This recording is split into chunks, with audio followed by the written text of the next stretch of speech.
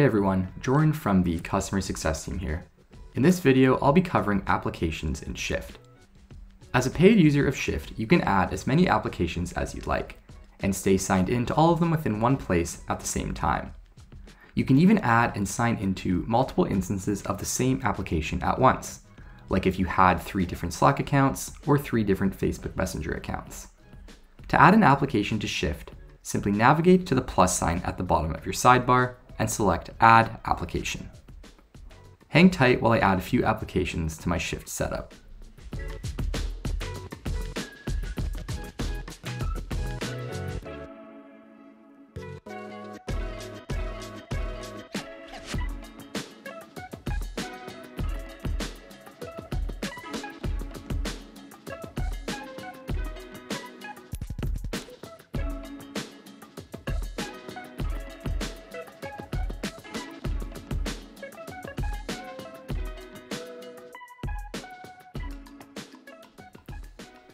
As you may have noticed, when I went to add in my applications, each one gave me the option to select a custom URL. If you have a specific page that you want the app to direct you towards when you click it, here's where you'll do that. If the app you're looking for is not currently in the Shift app library, you can always just use the custom URL method to add a custom app. I recommend using Jira. Let me do that now.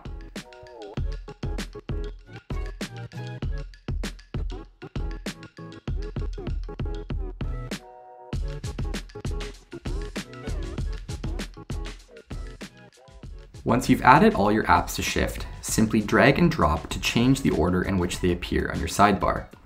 If you've accidentally added the wrong app or want to delete one from your sidebar, simply right click or control click on that app and then select delete app to remove it from your setup.